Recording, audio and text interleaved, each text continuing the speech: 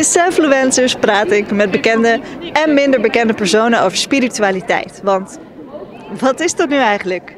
Spiritualiteit? Vandaag een ander soort aflevering, want vandaag ben ik op de Paraviewbeurs in Haarlem. En waarvoor kunnen de mensen hier terecht? Volgens mij kun je hier hand lezen, je aura op de foto zetten en nog veel meer. Ik ben heel erg benieuwd wat vandaag mij gaat brengen.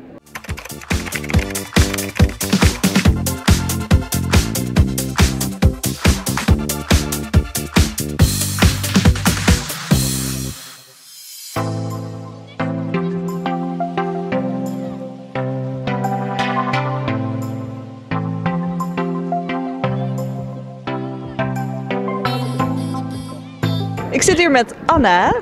Anna, jij doet tarotkaart lezen? Klopt inderdaad, ja. En wat is dat?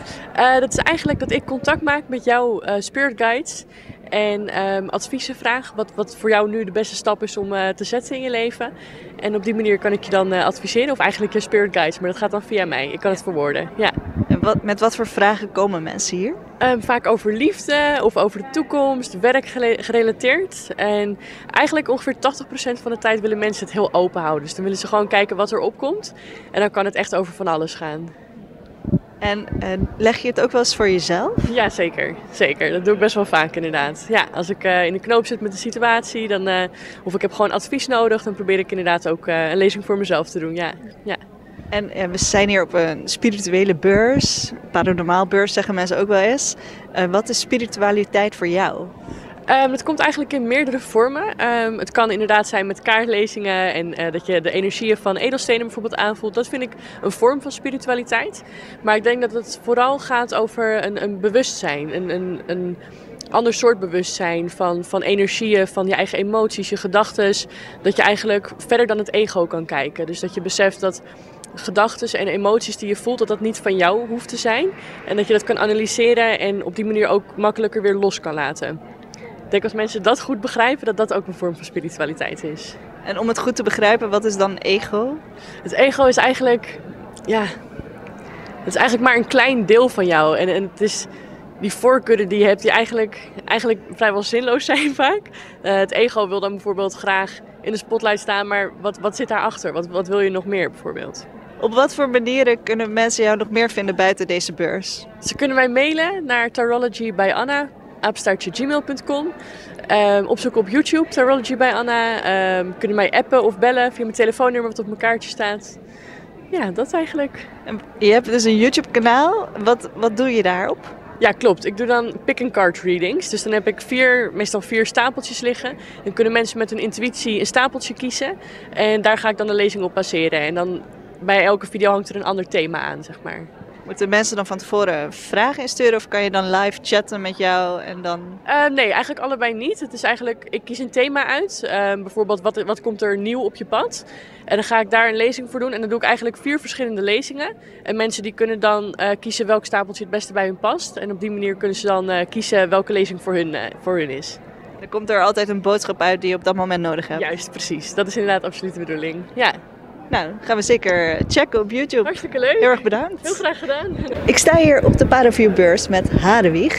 Hadewig, wat fijn dat ik jou wat vragen mag stellen. Waar, waarvoor kunnen de mensen bij jou terecht?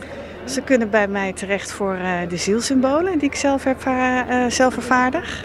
Prints uh, van de zielsymbolen. En ik heb een kaartenset die ik ook zelf gecreëerd heb. En daarmee doe ik een consult. Dus ze mogen een kaart trekken en dan, uh, dan mogen ze voelen wat de energie met ze doet.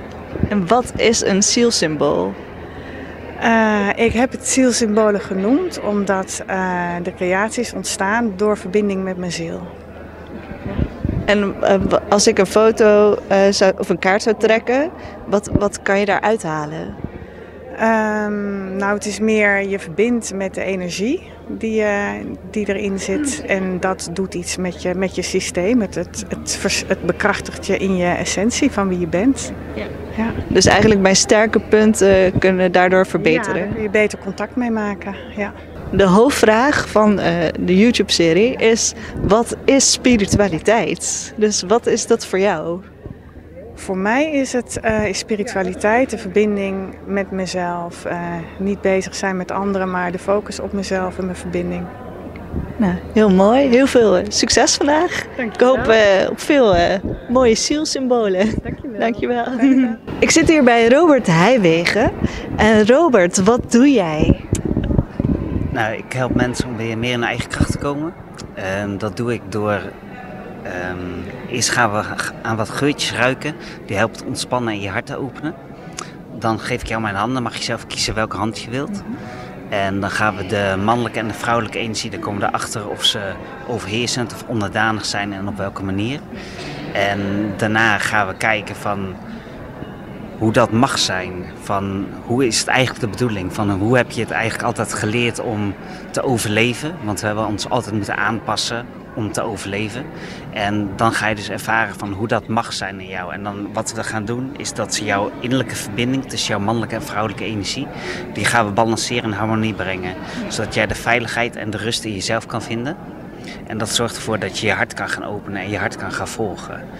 En voor de rest dan doen we, uh, mocht je je vrije wil gebruiken met dit hart. Het is een versteend hart van versteend hout.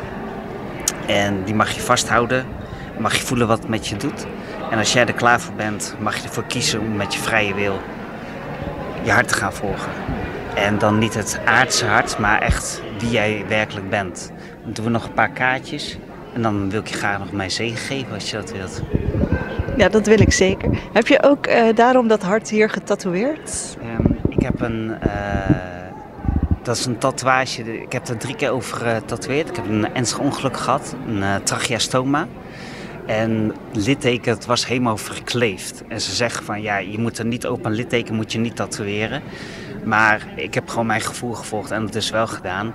En het is gewoon helemaal zacht geworden. Ja. Dus dat is. En alle trauma die daar zat, die is ook gewoon. Ik heb, ik heb het teruggenomen, mijn eigen kracht, mijn, mijn liefde.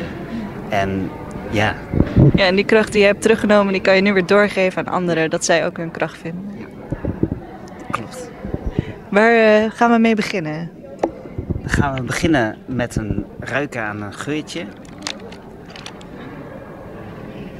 Dus mag je gewoon even ruiken zelf. Hoe vind je dat?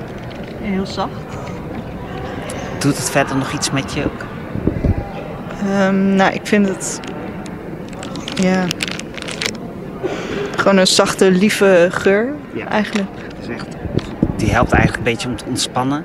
En dat je wat meer in een uh, rust ook in je hoofd krijgt daardoor. Dit is uh, Stirax.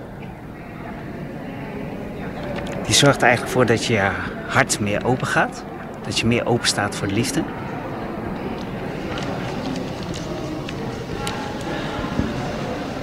En hoe vind je die?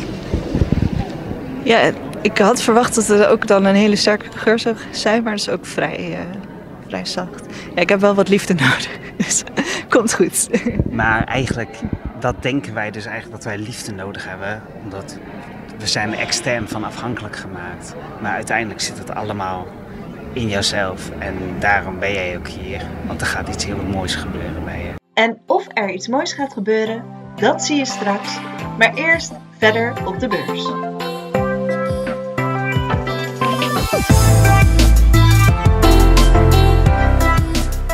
Om meer balans in je lichaam te krijgen, dragen wij armbanden met magneten. En die magneten, ik ben echt 16 jaar geleden heel slecht geweest met astma. Ik ben magneten gaan dragen. Ik denk, ja, ik ben een hele nuchtere Hollander. Het zal wel. Ik heb het toch gedaan. Ik ben magneten gaan dragen. En vervolgens ben ik medicatie af kunnen bouwen, maar in overleg met mijn longarts. Hij zegt altijd, ben je niet tevreden, krijg je aankoopprijs binnen een maand terug. Ik heb in die 15 jaar dat ik verkoop, nu vier armbandjes terug. Ik sta hier naast Urmila en u verkoopt prachtige spullen. En wat is het? Dankjewel. Ja, dit zijn mijn eigen creaties. Um, de techniek die ik zeg maar zelf gebruik voor het schilderen, dat is dot painting. En um, ja, dat heb ik gecombineerd met een beetje cone art ertussen. Dat is belijning. Um, en ik hou veel van symbolen. Ik hou veel van kleur. Uh, ik ben heel erg van de turquoise. Dus ja, ik wat, wat je bij mij vindt, dat is kleurrijk. Ehm, er zit een klein beetje symboliek achter. Dus ik doe veel met uh, handjes, die vind ik gewoon heel leuk. Uh, het oomteken, dat symbool vind ik heel mooi. Uh, chakra kleuren spreken mij heel erg aan. Dus dat zit er eigenlijk allemaal weer een beetje in verwerkt. Maar als je het eenmaal kan, de techniek wat ik doe, dan kan je het op alles. Dus ehm, ik vind altijd steentjes, ik vind schelpjes, ik vind veertjes op straat. En dan ga ik ze beschilderen. Alles wat ik eigenlijk tegenkom, krijg ik altijd dat het een beetje er kaal uitziet. Ik denk, oh, dat kan ik beschilderen, dat kan ik mooier maken. Weet je, dan vind ik iets al mooi. Een schelp vind ik al mooi van nature. Maar denk ik, oh, ik kan hem nog leuker maken. Weet je, als hij turquoise is, is hij nog mooier. Dus ja, dat is eigenlijk wat ik doe. En uiteindelijk, ja, is het met een steentje, een schelpje en een veertje begonnen. En, uh, inmiddels een hele winkel. inmiddels een hele winkel. Nou, ik heb ook een paar plaatsen waar ik inderdaad ook lig met mijn spullen. Ja, dus daar is een spiritueel winkeltje in België waar ik lig. Ik lig in een massagesalon in Den Haag. Dus ja, zo breidt het zich uh, steeds meer uit. Nou, als ik het uh, zo mag zeggen, dan vind ik ook zeker dat u heel veel talent heeft. Want ik, ik kan het niet. Het ziet er echt heel mooi uit.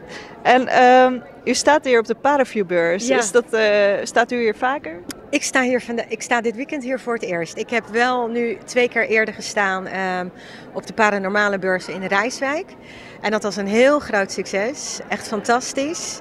En daar kreeg ik toen ook de tip van iemand van, joh, ken jij de Paraviewbeurs? Um, ik had er wel eens van gehoord, maar ik was er nooit eerder geweest. En toen dacht ik van, nou ja, weet je, ik, uh, ik ga het proberen. Ik ga me inschrijven en ik ga het proberen. En dat is dus de eerste keer dat ik uh, nu hier ben. Hoort dat bij spiritualiteit? Ja, ja, ja. Want hier alleen al mee bezig zijn, het maken ervan... Ja, dat is gewoon voor mij pure meditatie. Ik zet, ik zet een lekker muziekje op. Ik ben alleen. Ik heb geen geluiden verder om me heen. En, uh, en het enige waar ik mee bezig ben is van, goh, wat zou ik nu doen? Welke kleuren? Welk wat? En zo gaandeweg komt er steeds meer in terug. En het grappige is, kijk, ik doe het vanuit mijn passie. Maar het leuke is als mensen dus zeggen van, als ze mijn steen vasthouden, dat zij voelen, dat zij mijn energie voelen waarmee het gemaakt is. Of de passie of de liefde waarmee het gemaakt is, dat zij dat voelen. En dan denk ik van ja, dat, dat vind ik alleen maar mooi om te horen. Vanochtend werd ik heel goed wakker, die hoef je niet op te nemen. Maar vanochtend werd ik echt onwijs goed wakker. Ik had hier een steen verkocht gisteren aan een man. En ik kreeg vanochtend, ik werd wakker, ik deed mijn telefoon open, kreeg ik meteen van hem een berichtje. Van, uh, uh, dat hij gisteren, ja, ik ben gisteren bij u op de kraam geweest, ik heb een steen gekocht. En hij zegt, elk uur voel ik wat meer. En dit doet het met me en dat doet het met me. Dus ik liet het echt zo aan mijn man lezen. Van, uh, kijk Jeroen, ik zag dit, dit is wat, ik, wat ik te horen krijg. Dit is de terugkoppeling. Nou, daar doe ik het voor. Nee, daar doe ik het voor. Dat, dat is snap ik, het is gewoon super mooi. Ja, ja, ja, dat mensen daar echt uh, blij van worden. Ik word blij van het maken. En als ik gewoon zie hoe blij iemand anders is om er naar te kijken of te voelen of aan te raken, ja, dan word ik nog blijer van. Ja, u verkoopt eigenlijk cadeautjes, maar daarvoor krijgt u weer een cadeautje terug. Ja, ja absoluut. Absoluut. Ja, zeker. Nou, heel veel succes nog vandaag. Met, ik hoop uh, dat de verkoop uh, goed gaat. Ja. Maar ik denk dat het wel moet lukken. Denk ik ook. Dankjewel. Okay. Can you first tell a bit who you are and what you do? Aha, what I do. You can do it in German. German, okay. Also ich mache äh, bioenergetische Behandlung, also arbeite im feinstofflichen Bereich im Aura. Und äh, diese Arbeit stärkt Immunsystem, psychisch, physisch, mental. Die Veränderungen in Aura wirken sich auf physische Körper und wenn ich das balanciere, genau diese Balance wirkt sich auf physische Körper. So. Und ist individuell, also jeder äh, individuell äh, reagiert auf die Behandlung. Okay? Also ein bisschen noch vor mir. Okay. Einfach fühlen.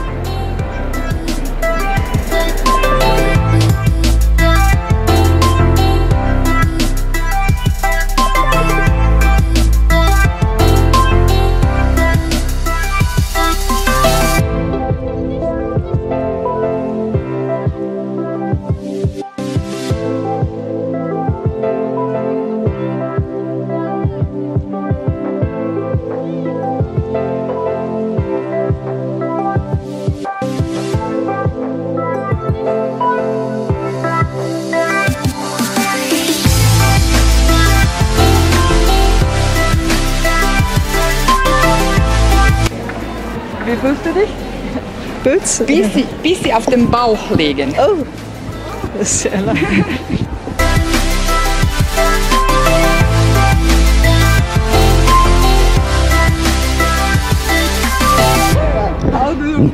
Good.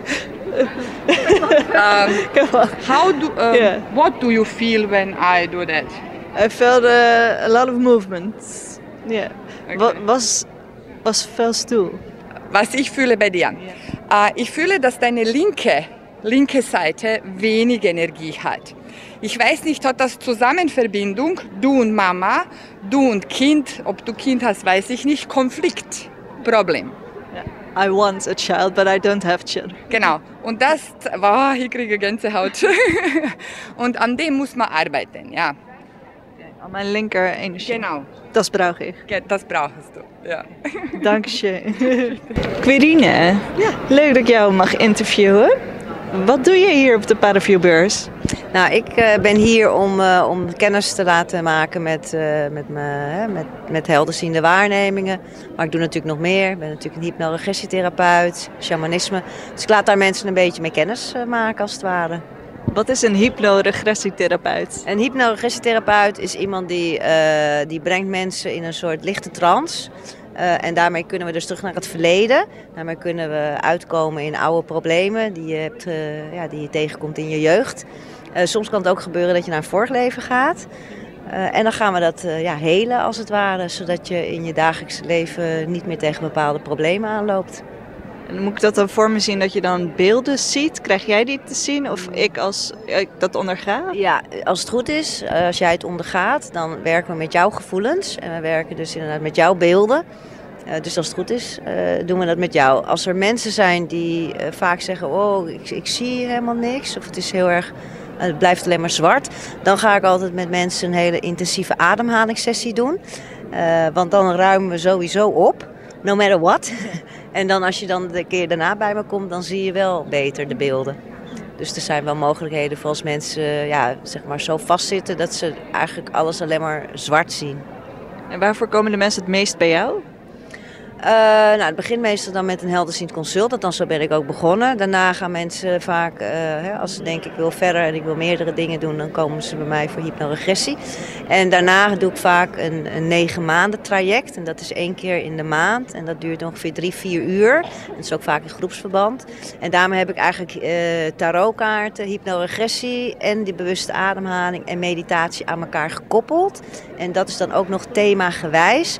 Dus met andere woorden, ja, ik noem het zelf de gouden formule. En in negen maanden ben je weer helemaal opnieuw geboren. Ben je helemaal zen? Ja, helemaal zen en helemaal opnieuw geboren. Dus dan heb je echt gewoon ja, oude stukken echt achtergelaten. Ik heb altijd de vraag, hoe zen ben jij zelf? Hoe zen ben ik zelf? Nou ja, het ene moment meer zen dan het andere moment. En als je een cijfer moet geven van 1 tot 10? Eh, ligt natuurlijk ook aan, aan de situatie. Eh, dus dat vind ik best moeilijk om te zeggen. Maar als ik vandaag, vandaag voel ik me aardig zen.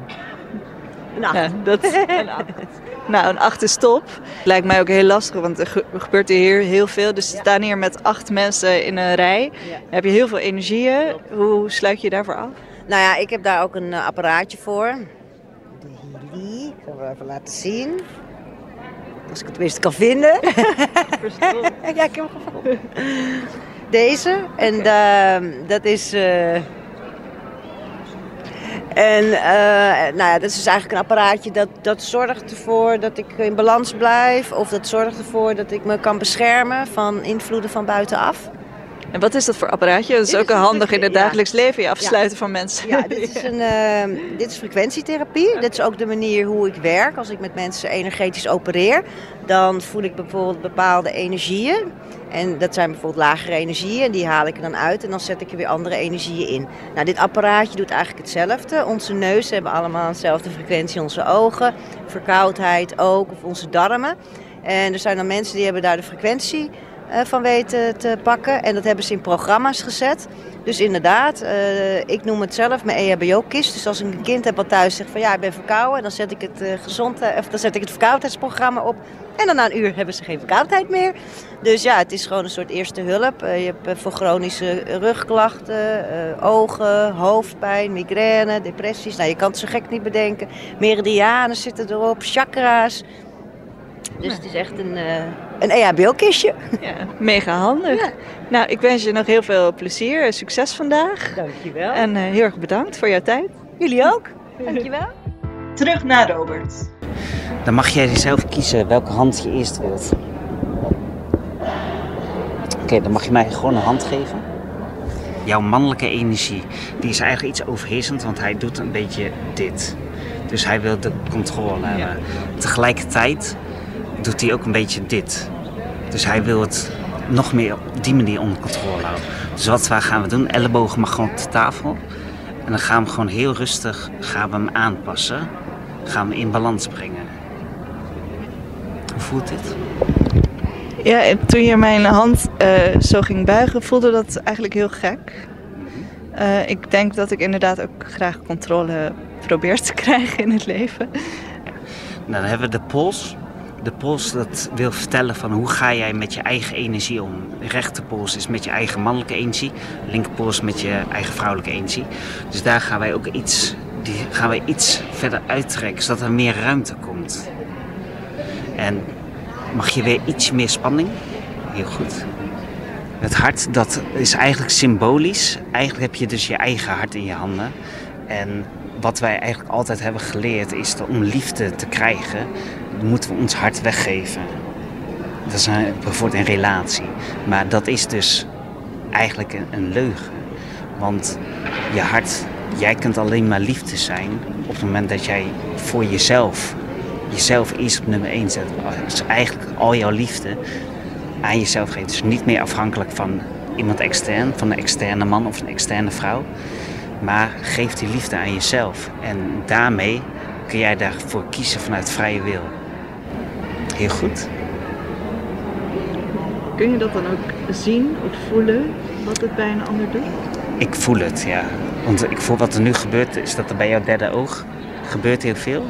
Uh, het zorgt ook voor dat de linker en de rechter hersenhelft op elkaar worden afgestemd. Het hart is eigenlijk zo uh, geprogrammeerd op overleven, op dualiteit, op voorwaardelijke liefde. En het kan ook even nodig hebben, want het wordt nu allemaal weer opnieuw um, geprogrammeerd tot allesomvattende liefde. Onvoorwaardelijke liefde, wat liefde eigenlijk is. En kunnen mensen jou hier altijd vinden op de Paravio-beurs? Of uh, heb je ook een eigen ruimte waar, je, waar mensen naartoe kunnen komen? Ik, uh, ik werk via Skype of via Facebook. Via telefoon kan allemaal. Uh, maar ik sta wel regelmatig op de beurs, ja. Op andere beurzen, Paranormaal Alternatief in Rijswijk. Dus ja, contact opnemen en dan uh, kunnen we een afspraak maken. Heel erg bedankt voor het kijken en luisteren naar deze aflevering van Sanfluencers. Doe vooral een duimpje omhoog. Laat in de reacties weten of jij wel eens op een spirituele beurs bent geweest. En heel graag tot de volgende aflevering. En stay zen.